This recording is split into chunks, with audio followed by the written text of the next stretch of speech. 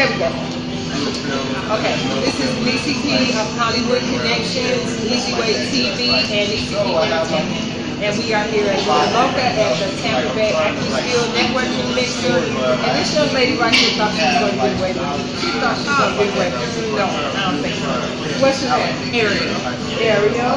Okay, so Miss Ariel, I overheard her telling us you are in classical Clarinet. clarinet trash. How did you get into that? Uh, my mom put me in band.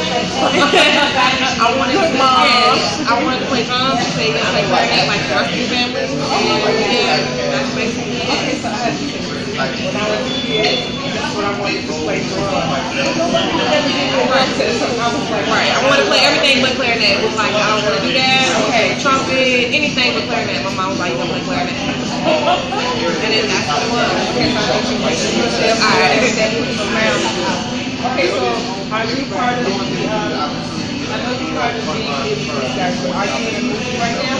No, I just finished um, Christmas Carol at the City Theater. Okay, so what was that? Great. I love it. It's my second play ever. Yeah. Okay, so you got that acting buzz, so to speak? Oh yeah. Oh, yeah? Okay. Guys, you know what, this is so awesome, this is so awesome. So tell me, how long have you been wanting to do this? How long have you been doing this as far as the acting is concerned?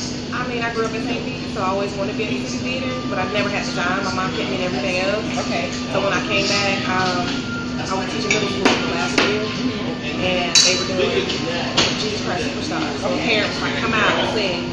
So I came out there and I started. I loved it. But I started writing screenplays a few years ago just for like therapy. So. And so does that mean that since you were writing screenplays, does that mean that you got a movie coming out? Nah, not yet. I'm still learning. Know, I'm, well, I'm self-taught, so I'm still learning a lot. A lot that goes behind it.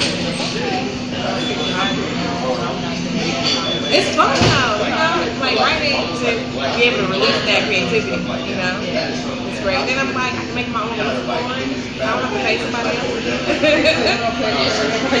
I mean, I play a lot though. I started out on clarinet. Right now, I can't play keyboard I can't play, but I can almost play on it. I try. You ever go back to the drums? I played drums in junior high school. Yeah. Did you? Was that fun? Oh yeah. Okay, so are you gonna that for a? No, it's been a long time since junior high school. Okay,